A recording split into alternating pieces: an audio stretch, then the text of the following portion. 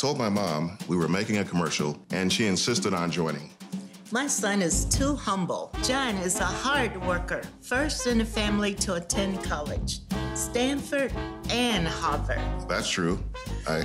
A successful businessman, but most importantly, he's an honest man. I know my son will finally bring common sense to Washington. Sorry, Mom, I've got to do this part.